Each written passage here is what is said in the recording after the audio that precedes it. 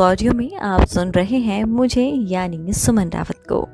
एक बार फिर से हाजिर हूँ लेकर रेलवे स्टेशन की कुर्सी, जिसे लिखा है गुलशेर अहमद ने। पेश है इस कहानी संग्रह से रिया और रेहान। दोनों ही अलग शहर के थे। इस शहर में रेहान दो साल से रह रहा था और रिया अभी अभी आई थी। दोनों का मिलना कोई चमत्कार नहीं था। रिया उसी कॉलेज की नई छात्रा थी, जिस कॉलेज में रिहान दो साल से पढ़ रहा था। दोनों बहुत आसानी से और बहुत आम सी ज़िंदगी गुजर बसर कर रहे थे। जैसे कि हर छात्र छात्राओं की गुजरती है, जिनके बहुत से सपने होते हैं और उन सपनों को पूरा करने का जुनून। रिहान और रिया की पहली मुलाकात जूनियर्स वेलकम पार्टी में हुई, जहाँ रिया को ये पता चला कि रिहान उसे कॉलेज के पहले दिन से जानता है। उसने रिया को बताया कि जब वो पहले दिन कॉलेज में अपनी क्लासरूम को ढूंढ रही थी और इसके लिए वो बहुत परेशान थी, तब उसने अपनी क्लास के बारे में रिहान से ही पूछा था। चूँकि रिया बहुत परेशान थी तो अपनी किताबों को संभालते हुए आगे बढ़ गई। रिया ने ऐसे बर्ताव किया जैसे वो बहुत शर्मिंदा है और इस बात के लिए सॉरी भी कहा। यहाँ से दोनों की दोस्ती शुरू हुई। रिया को जब भी कोई काम आ पड़ता या ज़रूरत होती तो वो रिहान से मिलने लगी। ऐसे दोस्ती गहरी होती गई। हर किसी को जब वो शहर बदलता है, उसे एक ऐसे व्यक्ति की ज़रूरत पड़ती है जो शहर के बारे में अधिक जानता हो।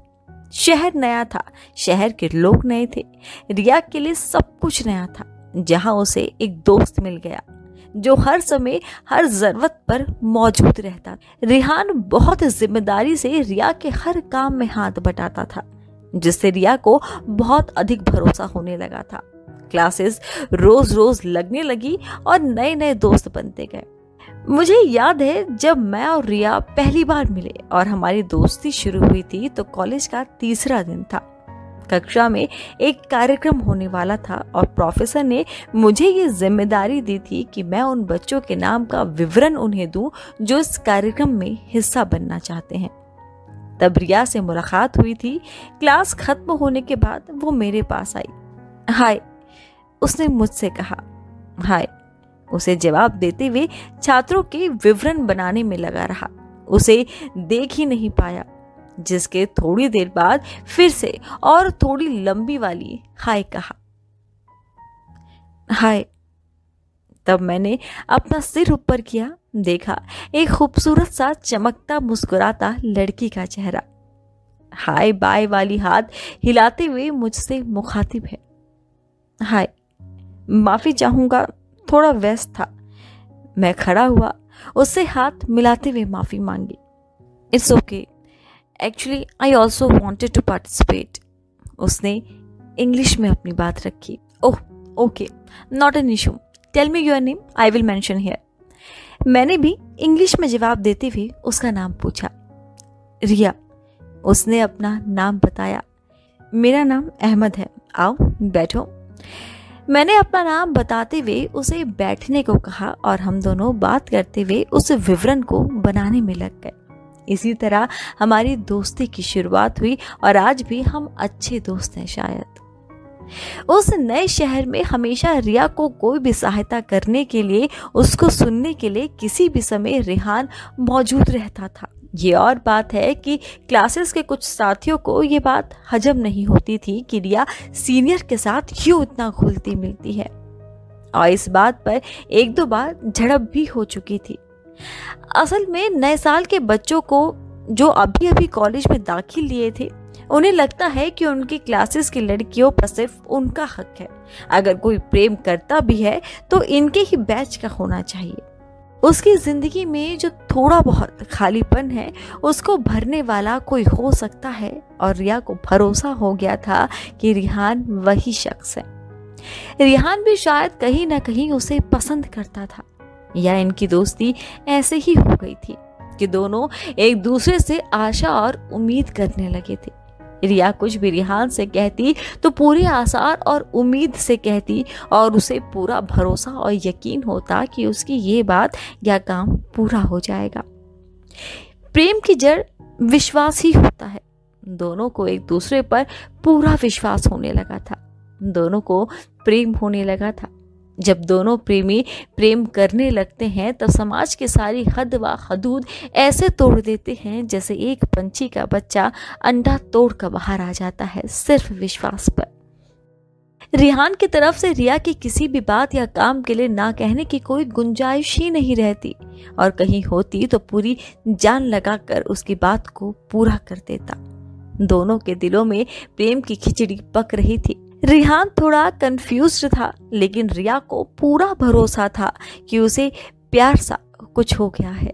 और यदि उसने रिहान से ये बताया तो रिहान इनकार नहीं करेगा। उसे पूरा भरोसा था कि रिहान के दिल में भी उसके लिए कोई प्यार की चिंगारी जल रही है।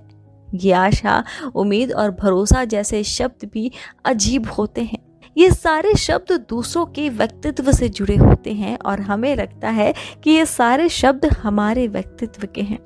किसी भी व्यक्ति के जीवन में खुशी का मंत्र ये भी हो सकता है कि वो इन शब्दों को जाने ही नहीं।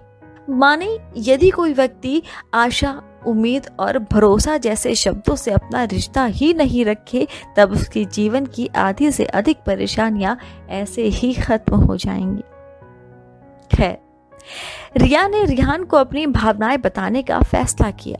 उसने कुछ लंबी साँसें भरी और अपने फ़ोन पर रिहान का नंबर डायल किया।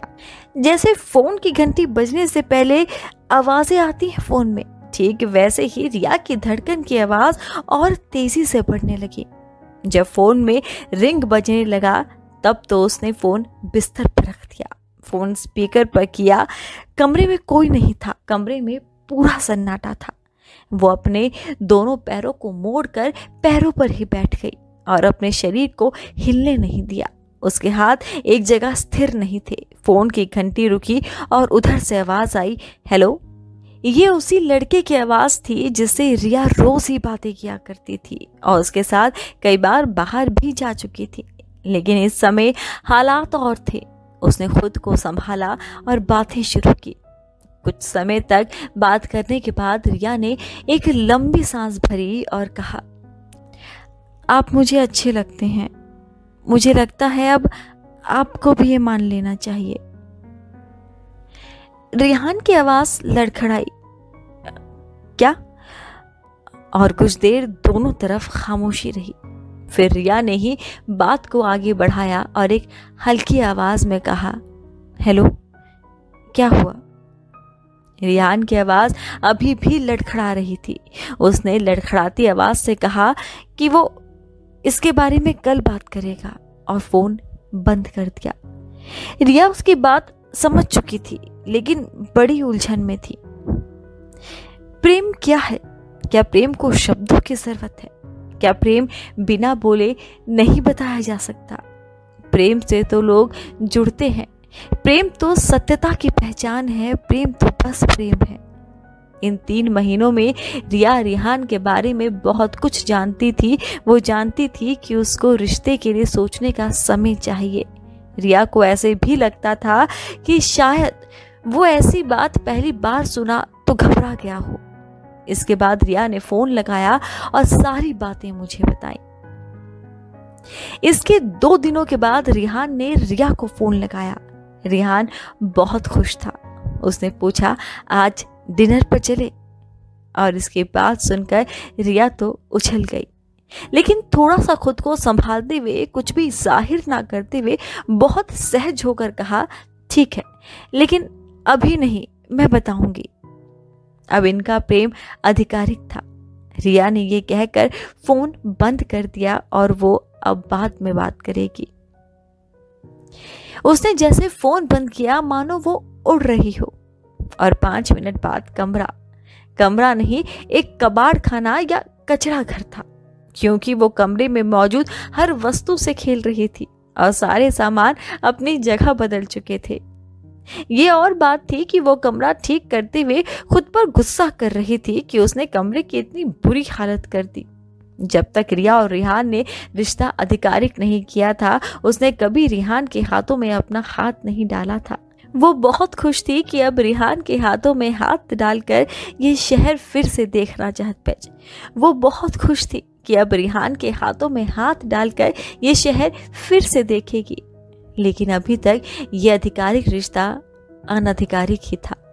रिहान को कोई ना कोई काम होता था या क्लासेस होती थी, जिससे वो रिया से मिल ही नहीं पा रहा था। लेकिन रिया टेक्नोलॉजी का हमेशा शुक्रगुजार रहेगी, क्योंकि इन दिनों में टेक्नोलॉजी ने ही दोनों को जोड़े रखा।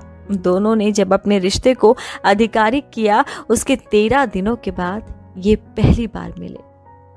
रिहान का फ़ोन आया और दोनों शहर घूमने निकले। रिहान ने रिया से जब घूमने जाने के लिए पूछा तो रिया ऐसे तैयार हो गई जैसे वो इसी बात के इंतज़ार में थी। और हाँ वो इसी बात के इंतज़ार में थी। ये प्यार भी अजीब शब्द ये प्यार भी अजीब शब्द है जो अधूरा है, लेकिन इस शब्द से जुड़ने वाले पूरे हो जाते हैं। रिया और रिहान भी इस शब्द से जुड़ के पूरे हो गए थे। क्या खूबसूरत दिन था। जब दोनों निकले रिहान ने रिया को एक जगह पर मिलने को कहा, फिर दोनों वहाँ से शहर की बड़ी झील की तरफ़ गए। बारिश अभी अभी बंद हुई थी और बादल अभी भी आसमान पर छाए हुए थे। सारे पेड़ पौधे बहुत खूबसूरत नज़र आ रहे थे। आज तो हर पेड़ पौधा अधिक हरा दिख रहा था।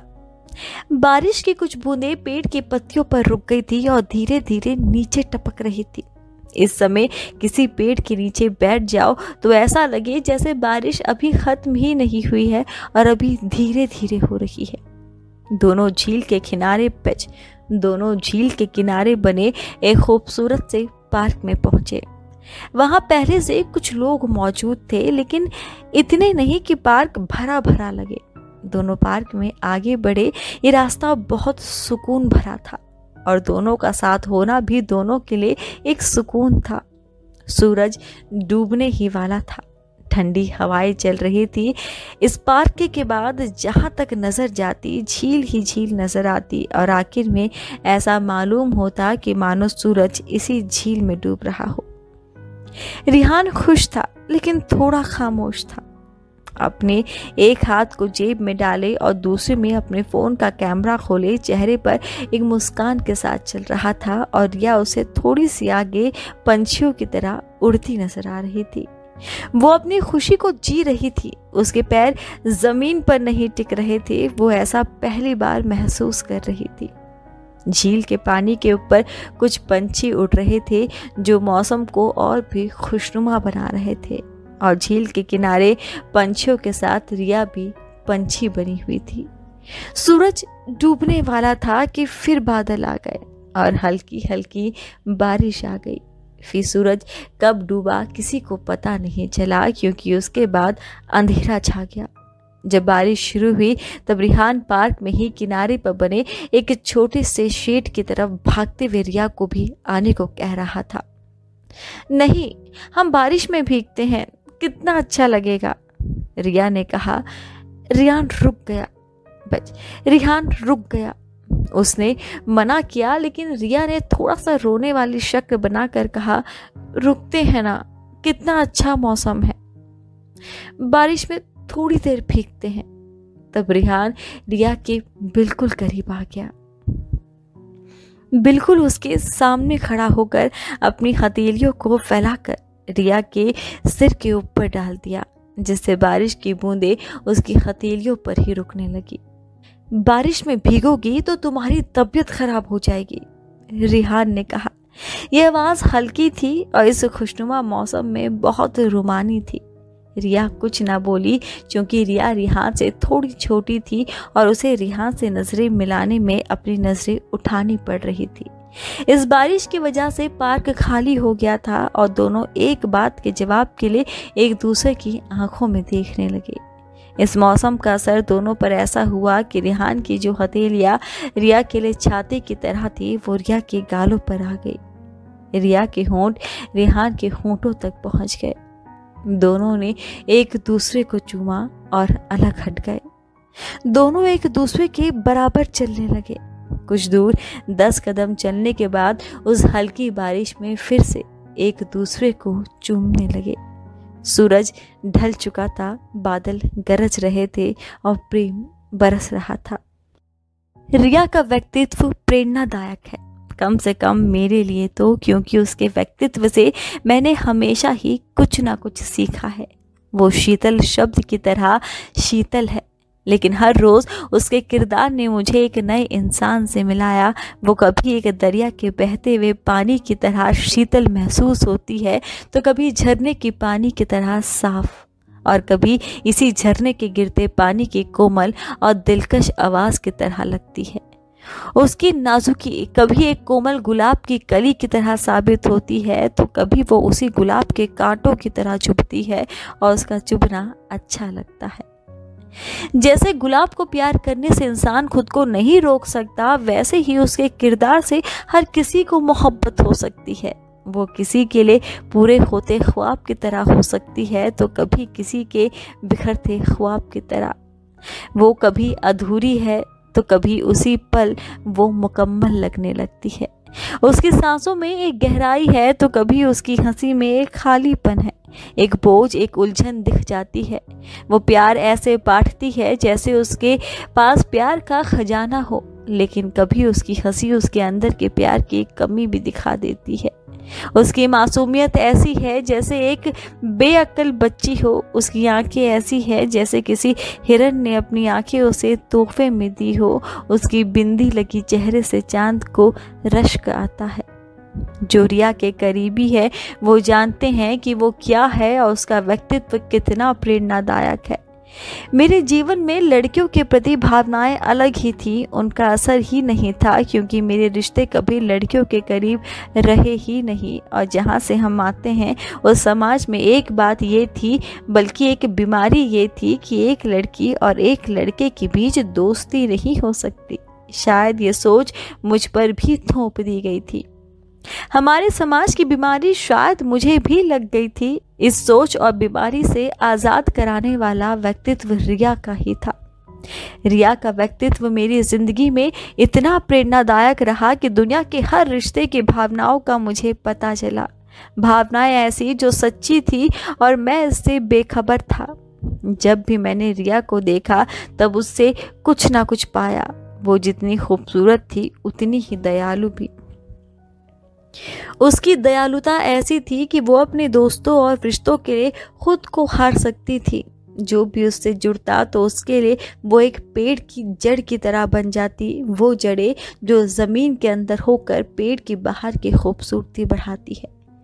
रिया तो मेरे लिए भी पेड़ की जड़ की तरह बन गई थी। मैं अभी तक ऐसी तलाश में था जो मुझे बताए कि असल जीवन क्या है। उसने कभी मुझे कोई उपदेश की तरह कुछ भी बातें नहीं बताई और ना ही उसने कभी मुझे अपनी व्यक्तिगत बातों में या व्यक्तित्व में बदलाव लाने के लिए कहा। उसका व्यक्तित्व ही इतना आकर्षित और चमकीला था कि जो भी उसके साथ जुड़े, उसे बदल सकती थी। बस उसके व्यक्तित्व को पहचानने वाला चाहिए। मेरी तो ऐसे बन गई थी कि यदि मुझे कहीं कोई परेशानी आती, तब ये सोचता कि रिया ऐसी स्थिति में क्या करती। और मुझे रास्ते नज़र आने लगते। वो कितनी खुश थी, शायद ये मैं लिख ना पाऊँ, या शायद उसने कभी ज़ाहिर नहीं किया था, या शायद मैं उसकी खुशियाँ समझ ही नहीं पाया, लेकिन उसकी खुशियाँ ज़ाहिर होती भी कितनी और कैसे। ये किसी को भी नहीं पता। कभी कभी मैं सोचता हूँ कि दुनिया के वैज्ञानिकों को खुशी और गमों को मापने के लिए कोई एक मशीन बनानी चाहिए। जिसमें एक पैमाना सेट कर दिया जाए और एक व्यक्ति को अब इससे अधिक खुश नहीं होना चाहिए और एक दूसरा पैमाना सेट करना चाहिए कि अब इससे अधिक व्यक्ति को गम में नहीं डूबना चाहिए। ऐसी मशीन से बहुत से रिश्ते बचाए जा सकते हैं और बचाए जा सकते हैं। जब इंसान अधिक खुश हो जाता है तो वो अपने आप से बाहर जाने लगता है और यही बात गमों में डूबने से भी होती है। रिया इतनी खुश थी कि यदि वह नुकसान में भी हो तो उसे फ़र्क नहीं पड़ता। रिहान भी खुश था। जब पहली बार किसी से प्रेम होता है, तब सब कुछ अच्छा लगता है। बल्कि ऐसा भी होना बहुत मुनासिब है कि कोई एक तमाचा गालों पर चढ़ दे और प्यार में पड़ा इंसान मुस्कुराता रहे। प्यार में पड़ने का एक और सबसे बड़ा बदलाव ये आता है कि घर का हर आईना प्यारा सा लगता है, बल्कि घरों में एक दो और आईने और लगा दिए जाते हैं। मैं रिहान के घर तो नहीं गया, लेकिन रिया के घर में तीन की जगह पाँच आईने लग गए थे और खिड़कियों के शीशे जिन्होंने कभी रिया के चेहरे नहीं देखे थे, अब हर रोज ही देख लेते थे। दोनों का प्रेम थोड़ा अलग था। आम प्रेमियों के प्रेम से अलग, क्योंकि जब ऐसी स्थिति होती है और प्रेम के शुरुआती दिन होते हैं, तब एक दूसरे से मिलने के लिए दोनों तरफ़ तड़प होती है। यहाँ रिया तो वक्त को उंगलियों पर गिनती रहती थी, लेकिन रिहान थोड़ी मुश्किल में था। मिलने का समय वो टालता रहता था। रिहान रिया से तो मिलना चाहता था, लेकिन वक्त से हार जाता था और मिलने का प्रेम आगे बढ़ जाता था। लिखना जितना आसान है, इतना ही मुश्किल निभाना। प्यार में रिया ऐसी डूबी कि वो रिहान से मिलने के लिए वक्त को भी रोक सकती थी। पहली मुलाकात के बाद रिया और रिहान दूसरी बार भी मिले, लेकिन इन दो मुलाकातों में 20 दिनों का फासला था। जब दोनों मिले तो सबसे पहले रिहान ने रिया के माथे को चूमा। प्रेम आत्मा का मिलन है। प्रेम में प्रेमी अपनी प्रेमिका के माथे को चूमता है, तब वो उसकी आत्मा को चूम लेता है। और जब उसके लबों को चूमता है, तब वो अपना विश्वास अपनी प्रेमिका को सौंप देता है और अपने प्रति विश्वास को महसूस करता है। रिया ने अपनी आँखें कुछ समय तक बंद ही रखी। उसने मुस्कुराते हुए आँखें खोली और दोनों शाम गुजारने निकल गए। रिया को ये जगह बहुत पसंद थी। वो अक्सर यहाँ आती थी, लेकिन अभी रिहान के साथ ये जगह उसे स्वर्ग लगने लगा था। ये एक कैफ़े था जो बहुत खूबसूरत था। झील के किनारे दो हिस्सों पर बना था ये कैफ़े। कैफ़े के नीचे के हिस्से में आधी तरफ़ थोड़ी सजावट के साथ कुर्सियाँ लगी थी और दूसरे आधे हिस्से में कैफ़े का रसोई था। कैफ़े के ऊपर का दूसरा हिस्सा बहुत ही खूबसूरत था, क्योंकि इसे खूबसूरती से सजाया गया था। कैफ़े के एक हिस्से में कुछ किताबों की सजावट थी और यहाँ आने वालों के लिए पढ़ने के लिए फ्री रखा गया था। ये सजावट के काम में आ जाती थी और यहाँ आने वालों के लिए पढ़ने का मौका भी मिल जाता था। कुछ लोग तो इस कैफ़े में चाय पीते और किताब पढ़ते हुए शाम गुजारने रोज़ आते थे। शाम होते ही झील से आती ठंडी हवाएँ शरीर में सेहरन पैदा करती थी और वही हल्की रंग बिरंगी रोशनी वहाँ की लगी बेलाव की पत्तियों की खूबसूरती और अधिक बढ़ा जाती थी। यहाँ कुछ पौधे ऐसे लगाए गए थे जिनकी बेलाएँ ऊपर को जाती थी और बहुत सी रंग बिरंगे फूल पत्तों की सजावट थी। कोई भी जगह को देखता तो ये शब्द ज़रूर कहता, खूबसूरत। इस खूबसूरती का हिस्सा अब दोनों थे और जब भी वक्त निकालते तो शाम यहीं गुजारते। इन मुलाकातों में एक मुलाकात ख़ास थी जब रिया घर पर अकेली थी और रिहान अपने घर पर। रिया अकेलेपन से डरती थी या यूँ कहे, काली रातें उससे डराती थी। काली रातों की तन्हाई से सब डरते हैं, लेकिन शायद जीवन की सच्चाई भी यही तन्हाई ही है। इन काली रातों से बचने के लिए उसने रिहान से बात की। रिहान ने उसे उसके घर चले आने को कहा। रिया उसके घर चली गई। और ये काली रात और भी काली अंधेरी और खामोश गुजरी। दोनों खुश थे, लेकिन खामोश रात चिल्लाई थी। जमीर रोया था। काली रात और भी ज़्यादा काली गुजरी थी। घर के चिराग बुझ गए थे। हवाएँ बहुत तेज़ी से गुजर गई थी। दोनों के कपड़ों की सिलवटें ज़मीन पर बिखर गई थी। दोनों खामोश थे, दोनों बहुत खुश थे। रात खुश थी, कमरे की हल्की रोशनी खुश थी। कमरे में रखी किताबें खुश थी। सभी सामान खुश थे, दोनों एक दूसरे में गुत्थम गुत्थी थे, दोनों खुश थे। ऐसी मुलाकातों के लिए दोनों कई बार मिले और दोनों के कपड़ों की सिलवटें ज़मीन पर कई बार बिखरी। लेकिन एक दिन आया जब हमारा कॉलेज का दूसरा साल गुजरा और रिहान का आखिरी सब खुश थे। रिहान भी अपने दोस्तों के साथ खुशियाँ मना रहा था। होता भी क्यों नहीं, आज उसकी डिग्री पूरी हो रही थी। वो आज ग्रेजुएट हो गया था, लेकिन दो लोग खुश नहीं थे। एक रिया, क्योंकि रिहान और वो अब शायद बिछड़ने वाले थे, और एक मैं, क्योंकि रिया दुखी थी। रिया दुखी थी तो मैं क्यों दुखी था? मुझे दुखी नहीं होना था। रिया कॉलेज में एक तरफ़ बहुत उदास खड़ी थी कि तभी रिहान आया। उसने रिया के माथे को चूमा, हमेशा की तरह और पूछा, कैसी हो? रिया ने जवाब दिया, क्या ये भी बात पूछने वाली है? रिया उदास थी, लेकिन रिहान उससे बात करके उसके चेहरे पर मुस्कुराहट ले आया। वो दोनों कैंटीन चले गए। रिया मुस्कुराई, लेकिन उदासी उसके चेहरे से नहीं गई। वो उदास थी। वो दिन भी आया जब रिया रिहान को छोड़ने स्टेशन गई। उसके साथ मैं भी गया। रिहान की नौकरी दूसरे शहर में लगी थी तो वो घर के लिए रवाना हो रहा था और फिर कुछ दिनों बाद घर से ही उसे नौकरी के लिए रवाना होना था। मुझे याद है, रिहान ने उसे गले लगाया, फिर उसका माथा चूम कर विदा लिया। मैं थोड़ी दूर पर खड़ा था।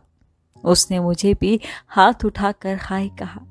जवाब में मैंने एक मुस्कुराहट के साथ अपना हाथ उठा लिया। रिया को रोना आ रहा था, वो खूब रोना चाहती थी, लेकिन वो रिहान को रोकर विदा नहीं करना चाहती थी। दोनों का हाथ छूट रहा था। तब रिया ने हल्की आवाज़ में कहा, अपना ख्याल रखना। जवाब में रिहान बस मुस्कुरा दिया। वो गाड़ी में बैठ गया। तब तक मैं रिया के पीछे खड़ा रहा। गाड़ी खुली रेहान पर। गाड़ी खुली रेहान दरवाजे पर खड़ा होकर हाथ हिलाकर बाय कह रहा था, शायद ये लम्हे रिया से बर्दाश्त नहीं हुए। वो पीछे मुड़कर मुझसे लिपट गई। अपना माथा मेरे सीने पर रख कर रोने लगी। मेरे कपड़ों को अपनी मुट्ठी में भींच लिया। मुझे थोड़ा अजीब लगा, क्योंकि रिहान हमें देख रहा था और मेरे साथ ये पहली बार हुआ था। गाड़ी जा चुकी थी, लेकिन रिया रो रही थी, रोई जा रही थी। कुछ देर तक मैंने उसे संभाला और पास में ही मौजूद एक कुर्सी पर उसे बैठाया। मनुष्य जब उदास या दुखी होता है, तब उस उदासी और दुख को कम करने का सबसे आसान तरीका रोकर आँसू बहाना होता है।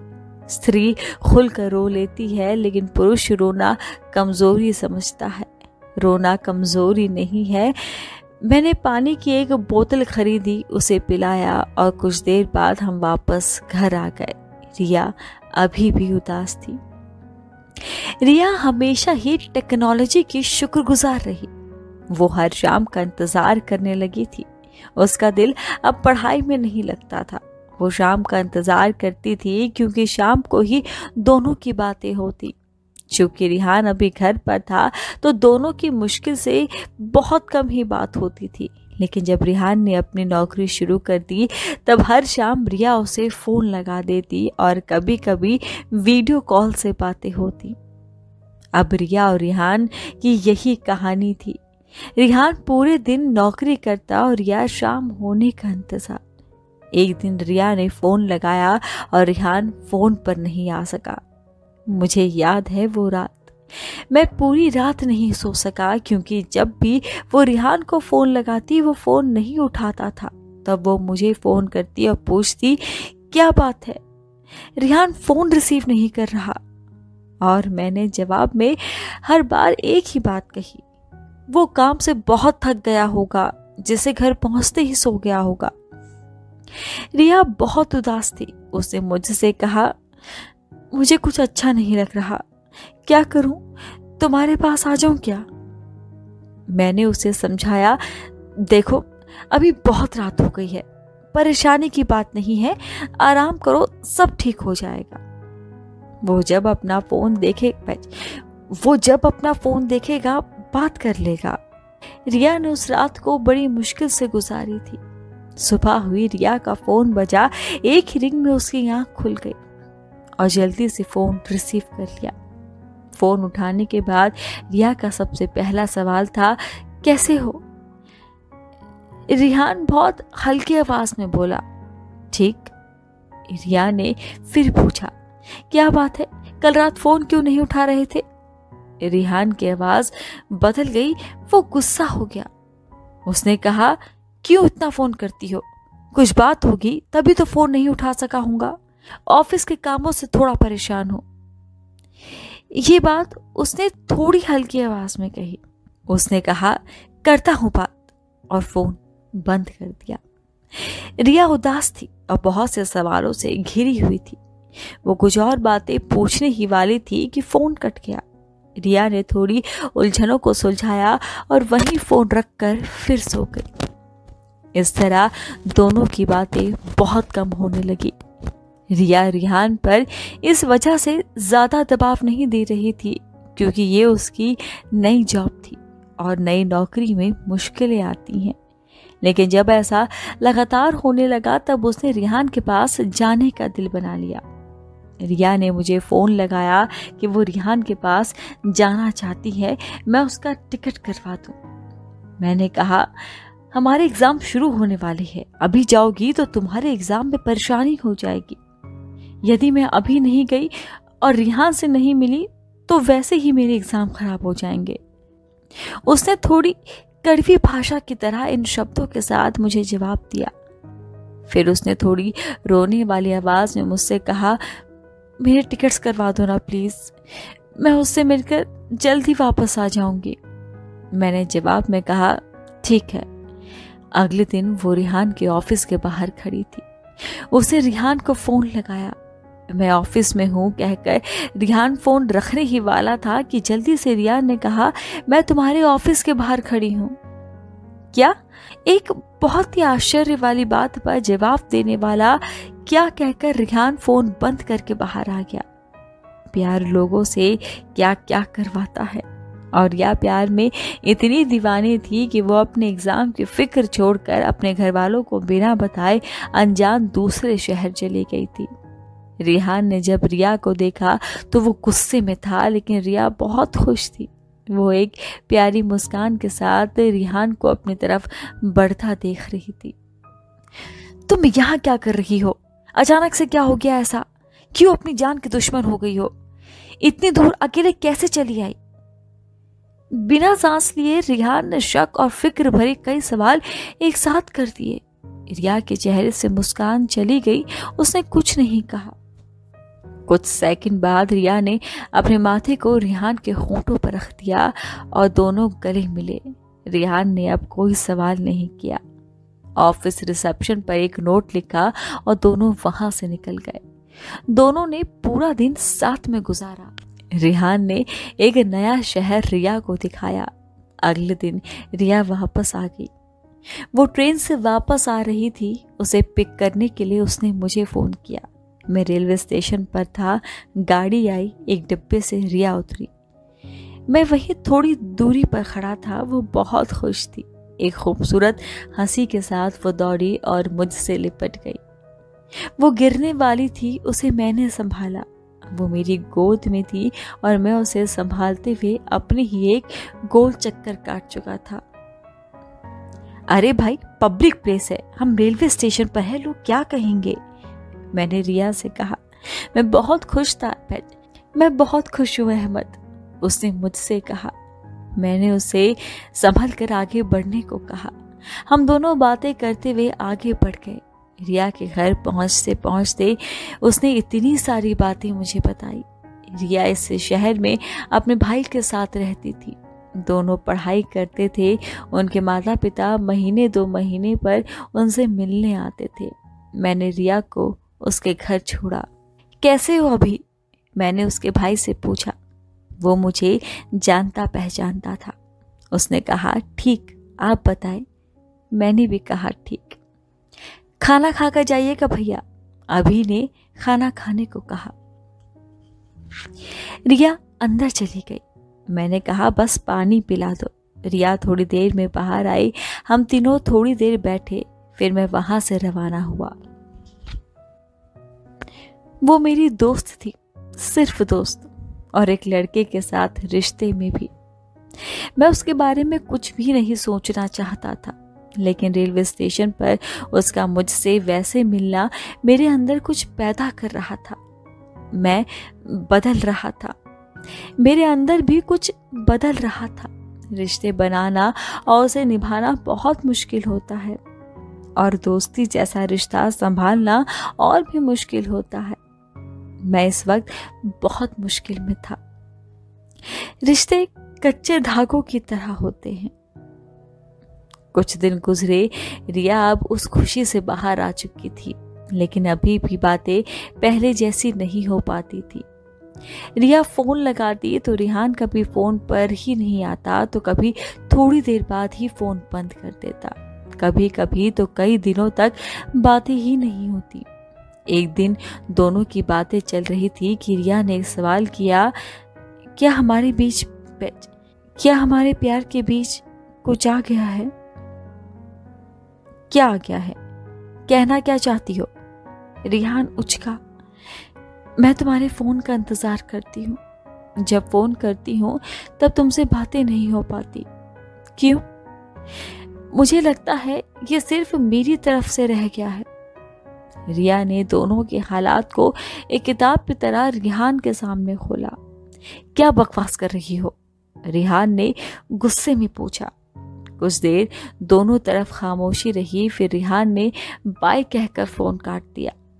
रिया अपना फ़ोन कान पर ही लगाई रही, जबकि दूसरी तरफ़ से फ़ोन बंद हो चुका था। वो सोच में डूबी हुई थी। वो सोच रही थी कि कहीं उसे धोखा तो नहीं मिल रहा। क्योंकि इस रिश्ते को सिर्फ़ रिया ने ही संभाले रखा था। वो सोच रही थी कि कहीं उसका इस्तेमाल तो नहीं किया गया। वो सोचते सोचते रोने लगी और फिर रोते रोते वहीं बिस्तर पर ही सो गई। अब दोनों की बातें बहुत दिनों पर होती थी और वो भी जब रिया बात करने के लिए फ़ोन लगाए। वो अब बस ख्यालों में गुम रहती। कॉलेज आती तो उसके चेहरे पर उदासी साफ़ नज़र आती थी। उस उदासी और दर्द को छुपाना भी उसके चेहरे पर साफ़ दिख रहा था। वो खुश नहीं थी, मैं ये जानता था। रिश्तों को संभालना कितना मुश्किल होता है ना? और ऐसे रिश्ते तो और भी मुश्किल होते हैं जिनका कोई नाम नहीं होता। सारे रिश्ते कच्चे धागे की तरह तो होते हैं, जिनको तोड़ना कोई भी मुश्किल काम नहीं होता, लेकिन इन्हें संभालना बहुत ज़्यादा मुश्किल होता है। वक्त गुजरता गया। या ने मुझसे पूछा कि यदि किसी रिश्ते में एक तरफ़ से कमी आने लगे तो दूसरी तरफ़ के इंसान को क्या करना चाहिए? उसके सवाल ने मुझे बहुत ज़्यादा परेशान कर दिया, क्योंकि मैं उसकी परेशानी, उसके चेहरे और सवाल दोनों में देख सकता था और मैं उसे परेशान नहीं देखना चाहता था।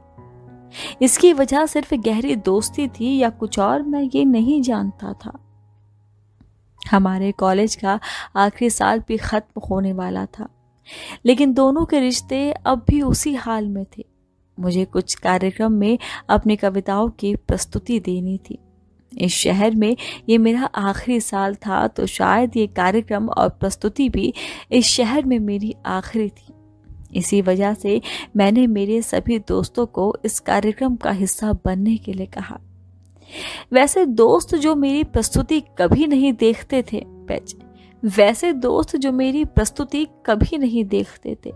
मैंने रिया को भी बताया, सभी ने आने की हामी भरी। क्योंकि ये शायद या सच में ही आखिरी कार्यक्रम की प्रस्तुति थी। कार्यक्रम का दिन आया, कुछ मेरे दोस्त पहुँचे, कुछ नहीं पहुँचे। लेकिन मुझे रिया का इंतज़ार था। कार्यक्रम शुरू होने वाला था, लेकिन वो अभी तक यहाँ नहीं पहुँची थी। मैंने फ़ोन मिलाया, लेकिन फ़ोन नहीं लगा।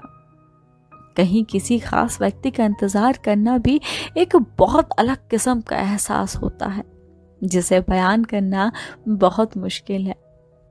मैं ऐसे मुश्किल हालात से गुजर रहा था, मुझे ऐसा लग रहा था जैसे ये कविताएँ मैंने रिया के लिए लिखी है। ऐसा लगता था जैसे ये कार्यक्रम और प्रस्तुति उसी के लिए है और जब वही इस कार्यक्रम का हिस्सा नहीं होगी तो मेरी प्रस्तुति का कोई मतलब नहीं बचेगा। मैं उसके लिए कई बार नीचे ऊपर करता रहा क्योंकि ये कार्यक्रम तीसरी मंजिल पर होना तय था। कार्यक्रम शुरू हो गया।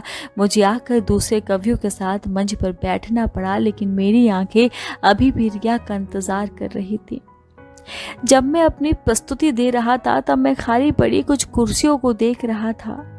मैंने प्रस्तुति खत्म की, खूब तालियाँ बजी। कार्यक्रम खत्म हुआ और मेरे कुछ कॉलेज के साथ बैठे।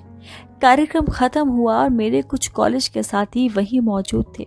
खूब सराहना मिली, रिया नहीं आई रिया नहीं आई और ना ही उसका फ़ोन। मैं घर गया, मुझे एक अजीब सी बेचैनी थी। सवाल थे मेरे अंदर, एक उलझन थी। मैं सोने वाला था कि रिया का फ़ोन आया। हेलो? हेलो? कैसी हो? मैंने फ़ोन उठाते ही पूछा। दूसरी तरफ़, रिया नहीं, अभी था।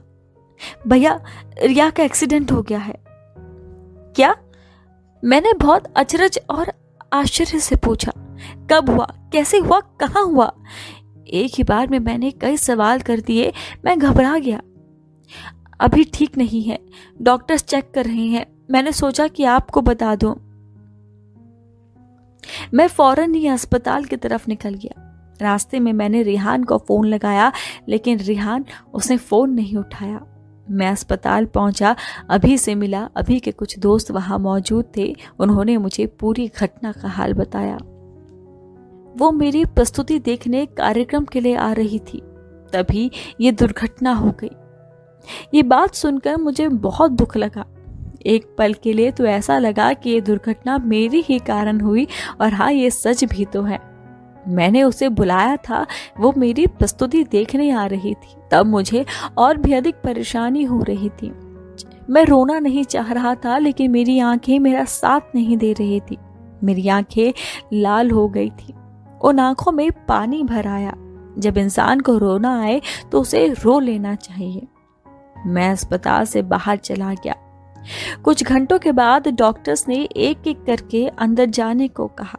जब सब बाहर आ गए तो अभी ने मुझे भी देख लेने को कहा। मैं अंदर जाने से डर रहा था, लेकिन रिया को अपनी आँखों से देखे बगैर मुझे सुकून नहीं आने वाला था।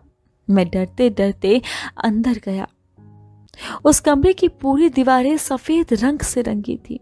कुछ मशीनें लगी हुई थी, वहीं एक बिस्तर पर रिया बेहोश पड़ी थी। मैं धीरे से वहीं बिस्तर के पास रखी कुर्सी पर बैठ गया। रिया का हाथ अपने हाथों में लिया, तब मेरी आँखों में फिर आँसू भर आए। मैं कुर्सी से उठा, मैंने रिया के करीब जाकर उसके माथे को चूमा। जब रिहान उसके माथे को चूमता था, मैंने रिया का हाथ अपने हाथ में लिए, उसी बिस्तर पर बैठकर एक कविता पढ़ी। अंधेरा रोज आता है। क्षमा जलाई जाती है। एक परवाना उस पर मंडराता है।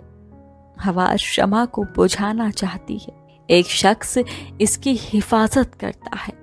परवाना क्षमा से जलकर मर जाता है। लोग परवाने की मोहब्बत की दात देते हैं। जो शख्स इस क्षमा की हिफाजत करता है, वक्ती दीवाना कहलाता है। क्योंकि उसे उजाले की ज़रूरत होती है। शख्स सवाल करता है, परवाना क्षमा का दीवाना कैसे?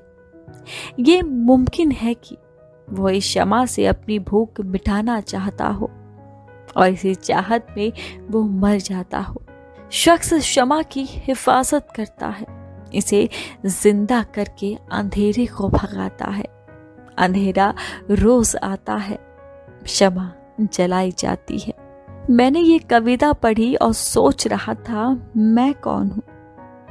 मैं क्या कर रहा हूँ? और रिया का हाथ छोड़कर बहुत तेज़ी से कमरे से बाहर चला गया।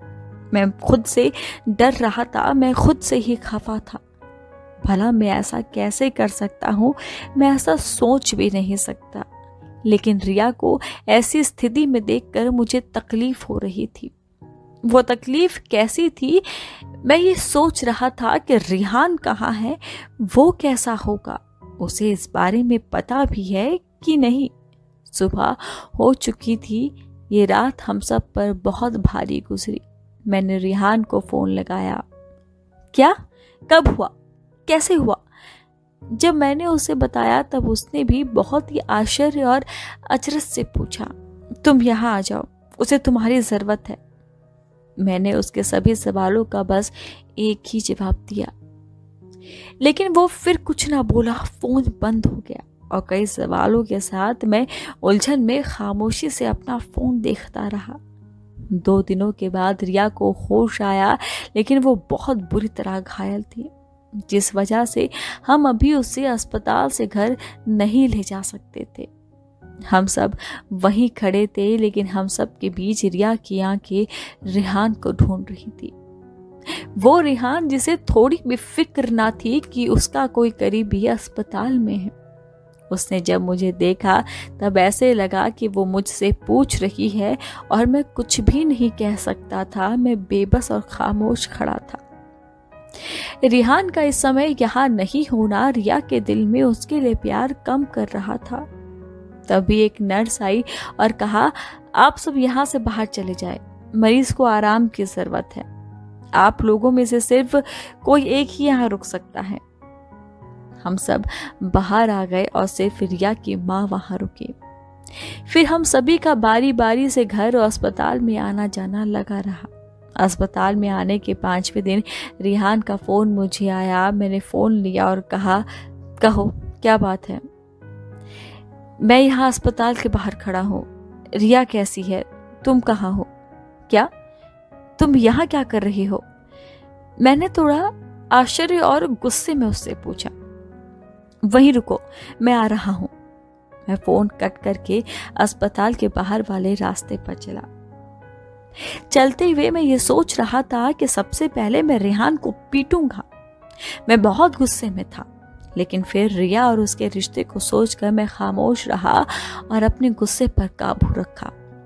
हाँ बोलो, क्या बात है? यहाँ क्यों आए हो? मैंने रिहान के सामने खड़ी होकर, लेकिन अपना चेहरा दूसरी तरफ़ घुमाकर उससे पूछा, क्या पूछ रही हो तुम? मैं यहाँ रिया के लिए उससे मिलने आया हूँ। उसने थोड़ी भावुकता से कहा, मुझे हँसी आ गई, मैंने हँसते हुए कहा बहुत जल्दी याद आ गई। फिर मैंने उससे थोड़ा गुस्से में पूछा, तुम इतने दिन कहाँ थी? जो अब तुम्हें उसकी याद और फ़िक्र हुई? वो खामोश रहा और फिर कहा, बस मुझे रिया से मिलवाओ। मैंने बहुत गुस्से और जल्दबाजी में कहा, रिया मर गई। वो अचानक से मुझ पर लपका, क्या? एक बहुत तेज आवाज़ के साथ उसने मेरे दोनों बाजुओं को ज़ोर से जकड़ा पैच एक बहुत तेज आवाज़ के साथ उसने मेरे दोनों बाजुओं को बहुत ज़ोर से पकड़ लिया। उसकी आँखों में आँसू आ गए। उसने कहा, नहीं, ऐसा नहीं हो सकता। उसकी जबान लड़खड़ा रही थी। अच्छा ठीक है, शांत हो जाओ। वो पहले से बेहतर है। मैं देखता हूँ, उससे मुलाकात करवाता हूँ। मैंने कुछ सहजता के साथ और बहुत शांत होकर उससे कहा, दोनों के रिश्ते का अभी उसके घर वालों को पता नहीं था। ये रिश्ता कभी इतना मज़बूत हुआ ही नहीं कि वो दोनों अपने घर वालों को बताए, लेकिन रिया ने अभी को बता दिया था, अभी सब जानता था। मैंने उससे कहा, तुम यही मेरे फ़ोन का इंतज़ार करो और मैं अस्पताल के अंदर चला गया। मैंने पहले रिया की माँ को अभी के साथ उसके घर आराम करने के लिए भेजा, फिर थोड़ी देर के बाद दोनों को मिलवाया। हम दोनों कमरे में पहुँचे, रिया सो रही थी। मुझसे पहले ही तेज कदमों के साथ रिहान चलकर रिया के पास पहुँच गया। मैंने मेरे मैंने मेरे कदम वहीं दरवाजे के पास रोक लिए। रिहान ने रिया का हाथ पकड़ा, तब रिया जाग गई। वो रोने लगा। मुझे माफ़ कर दो रिया। मुझे माफ़ कर दो। माफ़ी मा, माफ़ी मांगते वक्त वो रो रहा था। उसने रिया का एक हाथ पैच उसने रिया का एक हाथ अपने हाथों में ले रखा था तभी रिया ने मेरी तरफ़ देखा मैं दरवाज़ा खोल कर बाहर निकलने लगा। रुको अहमद रिया ने कहा तुम कहाँ जा रहे हो? तुम यहीं रुको। तब रिहान ने भी मेरी तरफ़ तब रिहान भी मेरी तरफ़ देख रहा था। तुम लोग आराम से बात करो, मैं चाय लेकर आता हूँ।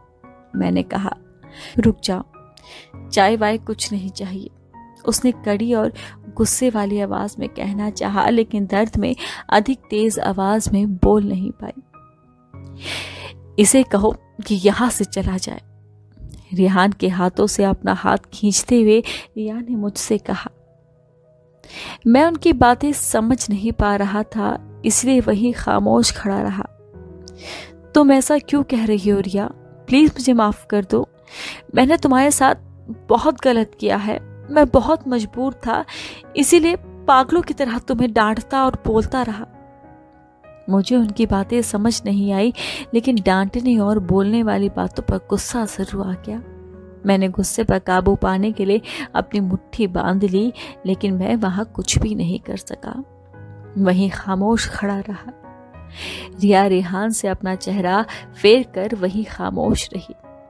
रिहान तेज कदमों से मेरी तरफ़ चल कर आया, मेरे दोनों हाथ अपने दोनों हाथों से पकड़कर बिस्तर के पास ले गया। आँखों में आँसू लिए उसने कहा यार तुम ही समझाओ ना। बताओ इसे कि मैं इससे कितना प्यार करता हूँ। तुम तो इसके सबसे अच्छे दोस्त हो। तुम्हारी बात ज़रूर मानेगी। रिया ने आँखों में आँसू लिए, एक ज़ोर की आवाज़ में कहा, मुझे किसी की भी बात नहीं माननी। तुम जाओ बस। फिर अपनी आवाज़ हल्की करके मुँह दूसरी तरफ़ करके कहा, जो प्यार करते हैं उनका जात पात और धर्म से कोई वास्ता नहीं होता। मैं क्या कर सकता हूँ यार? मैं तो तुम लोगों की ये सारी बातें समझ ही नहीं पा रहा हूँ। मैंने रिहान से कहा, फिर उसने उन दोनों के बीच की कुछ बातें बताई। बस पाँच दिन पहले की बात उसने बताया।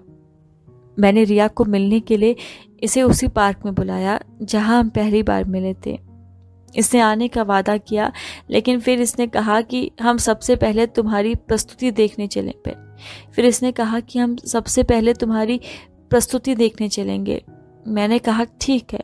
मैंने अपनी शादी की बात अपने मम्मी पापा से की थी, लेकिन रिया के हिंदू होने के कारण लेकिन रिया के हिंदू होने के कारण से लेकिन रिया के हिंदू होने के कारण उन्होंने साफ़ साफ़ मना कर दिया। वो डर गए थे। मैं डर गया था इस लव जिहाद से। मैं जिहादी नहीं हूँ। मैं तो सच्चा मुसलमान भी नहीं हूँ। मैं तो हर रोज़ का पाँच वक्त का नमाज़ तक नहीं पढ़ता। मैं क्या जिहाद करूँगा? आखिर हम सब एक समाज में रहते हैं और जो ऐसी नई शब्दावली बनी है, जिसका मतलब लोग इसे निकाल रहे हैं जैसे अल्पसंख्यक समुदाय के युवा पुरुष वर्ग, बहुसंख्यक समुदाय की स्त्रियों को बहला फुसला कर प्रेम जाल में फंसाते हैं और शादी करके धर्म परिवर्तन करवाते हैं। और इसी से बहुसंख्य समुदाय को नीचा दिखाकर अच्छी खासी बेजती भी करवा देते हैं, जिसका विरोध करने के लिए बहुसंख्यक या अल्पसंख्यक समुदाय के युवा पीढ़ी को अगर किसी की जान लेनी पड़ी तो गुरेज नहीं करेंगे। अब भला, तुम ही बताओ कि कौन से माता पिता कौन सी माँ है जो अपने बेटे को मौत के मुँह में धकेलेगी? वो डर गए थे भाई, और मैं भी। मैंने घर पर सभी को समझाने की बहुत कोशिश की, लेकिन घर पर बहुत परेशानी हो गई।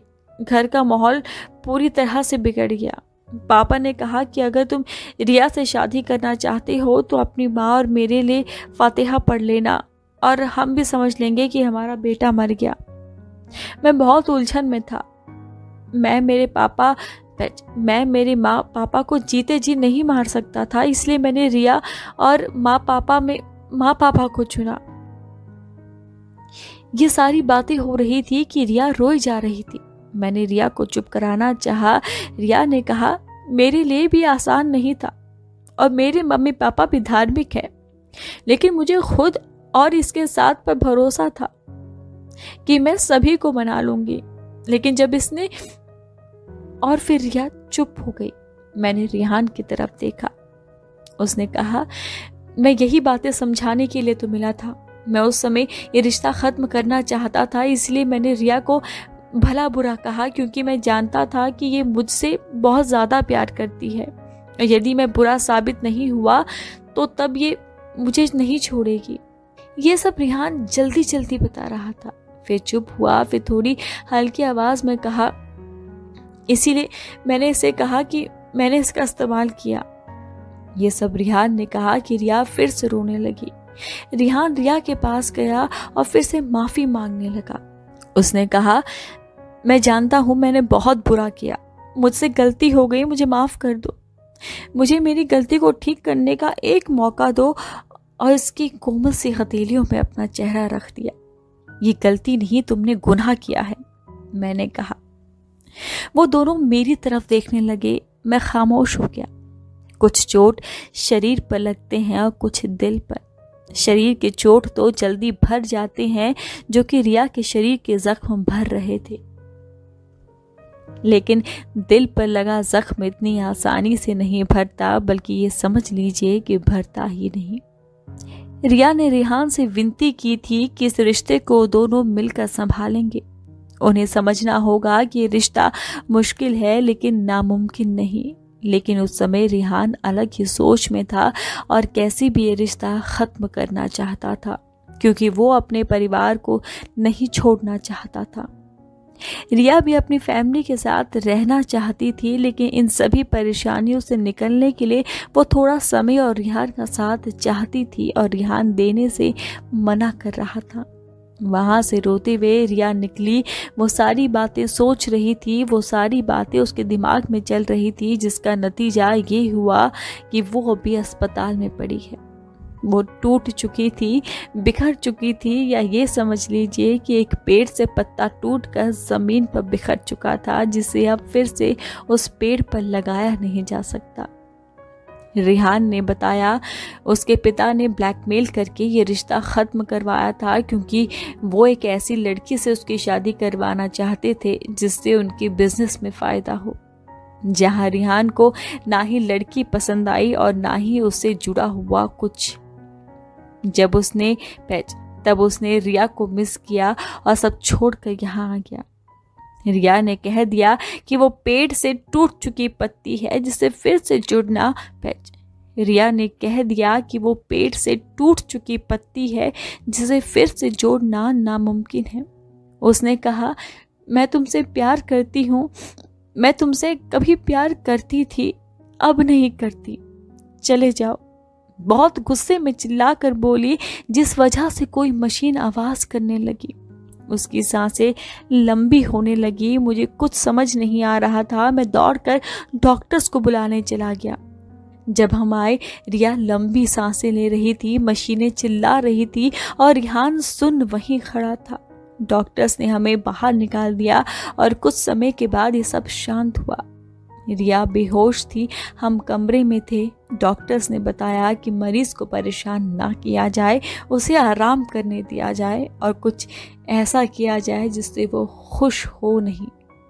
और कुछ ऐसा किया जाए जिससे वो खुश हो नहीं तो उसकी जान को भी खतरा हो सकता है। अब क्या करूँ मैं? रिहान ने मुझसे सवाल किया और बिस्तर के पास वहीं बैठ गया।